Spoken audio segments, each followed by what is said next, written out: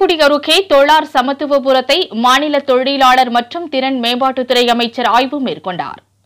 கடலூர் மாவட்டம் திட்டக்குடி அருகே அமைந்துள்ள தொழார் சமத்துவபுரத்தில் சீரமைப்பு பணிகளை சுமார் தொன்னூறு லட்சம் மதிப்பீட்டில் நடைபெற்று வரும் பணிகளை சாலை அங்கன்வாடி மைதானம் மற்றும் வீடுகள் பணிகளை விரைந்து முடிக்குமாறு அதிகாரிகளை கேட்டுக் கொண்டார். மாநில தொழிலாளர் மற்றும் திறன் மேம்பாட்டுத்துறை அமைச்சர் சி வே கணேசன் ஆய்வு மேற்கொண்டார். உடன் மாவட்ட ஆட்சியர் கி. பாலசுப்ரமணியன் சார் ஆட்சியர் பழனி மற்றும் ஊரக வளர்ச்சித்துறை அலுவலர்கள் கலந்து கொண்டனர்.